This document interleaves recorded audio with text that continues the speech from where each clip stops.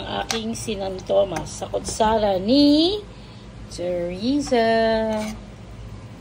Ayan. Sauce pa lang, ulam na. Wow. Ayan. Wow.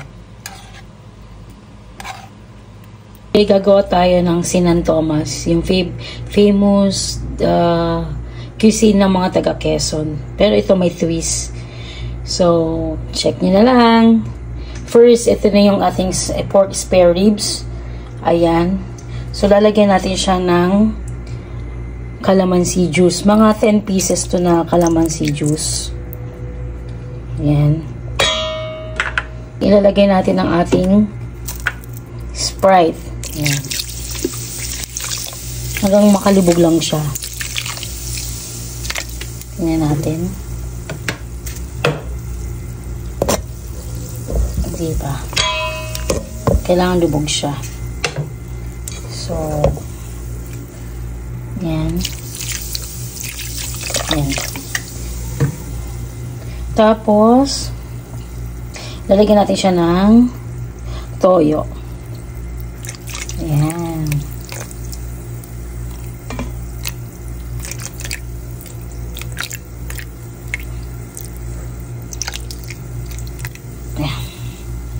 Then, lalagyan natin siya ng pamintang durog. Then, lalagyan natin siya ng pamintang durog. Ayan. Ayan, may pamintang durog na siya. So, imimix na natin siya, tapos imamarinate natin for 1 hour.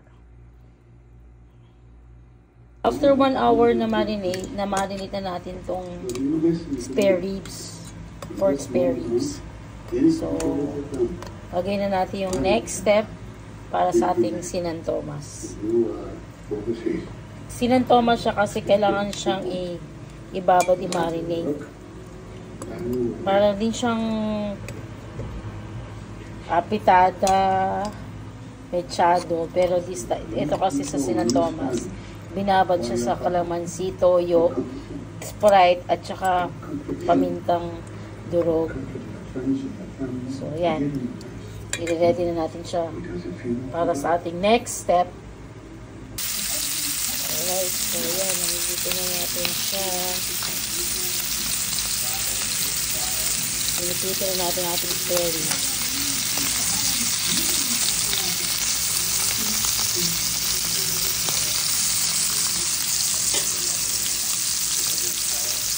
Pag napito na na siya, anguin muna natin ang cherry. Ayan. Lagyan natin siya dito.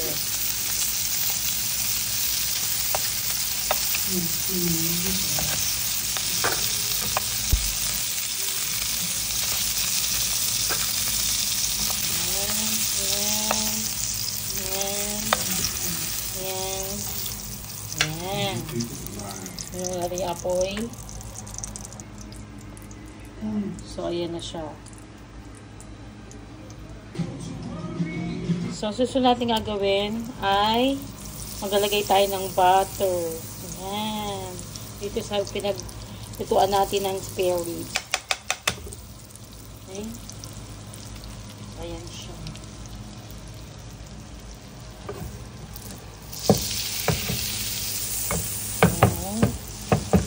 Habang natutunaw ang butter, ilalagay na natin ang ating garlic. Ayan.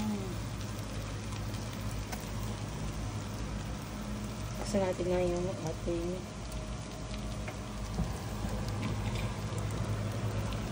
apoy. Ayan. Okay. So, Igisa natin yung garlic. Ayan. Habang naluluto ang garlic, ilalagay naman natin ang ating onion. Ayan. Okay. Onion. Sarap ng onion. Sarap ang bango ng butter. So, isa natin ang ating butter, garlic, and onion. Okay.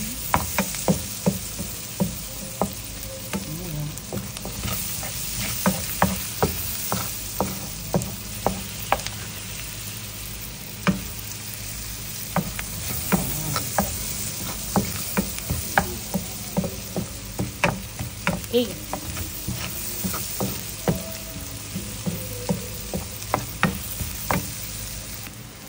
Tapos, sunod natin ang ating spare ribs uli. Ibabalik natin siya.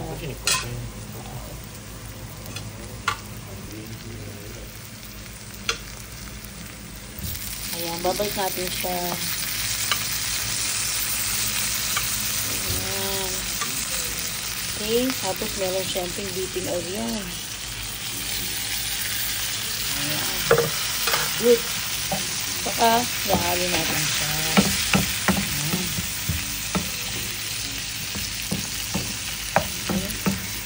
Ayan. Ayan o. Ay.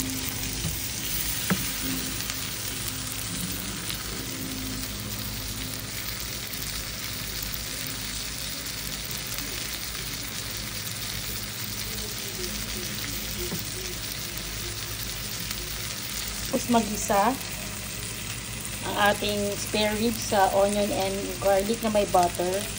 Ibabalik natin ang pinag-marinate na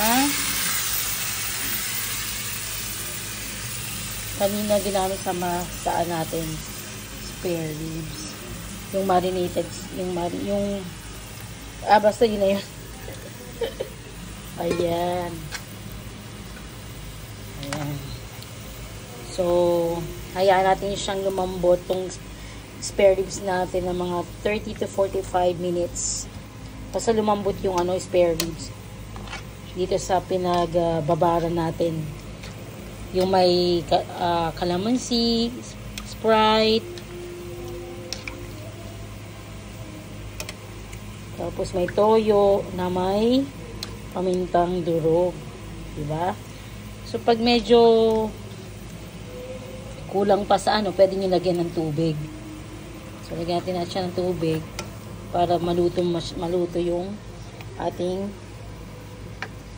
spare ribs.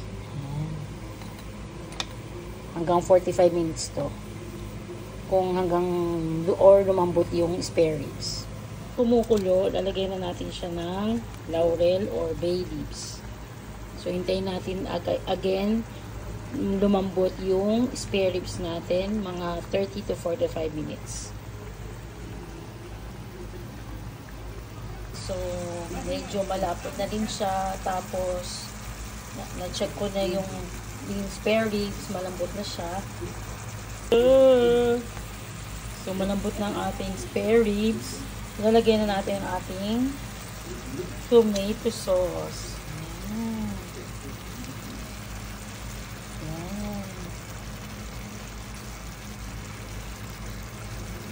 Diba? Sarap yun.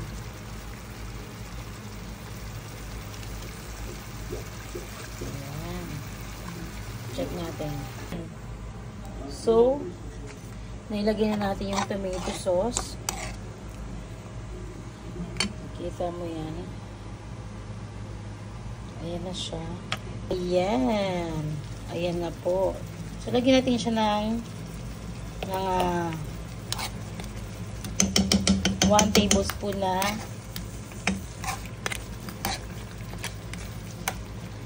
sugar. Mga patis. Siguro mga 1 1 tablespoon din.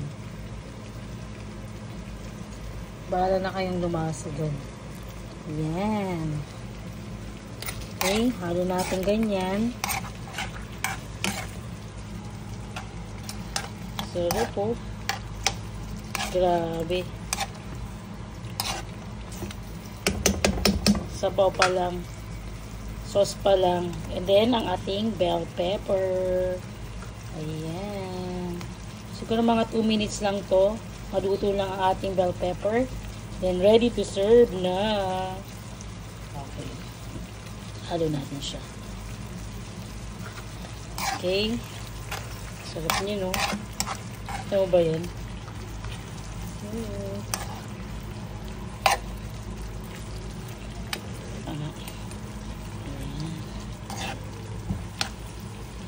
Ay, ano ba yan?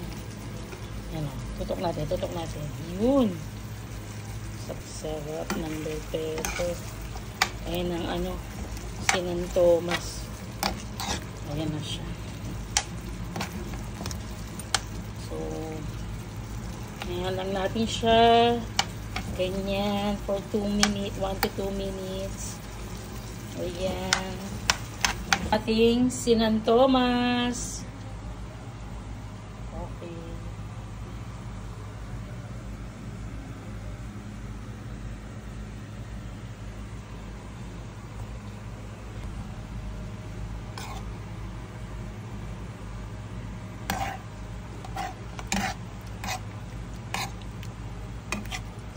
Okay. Okay.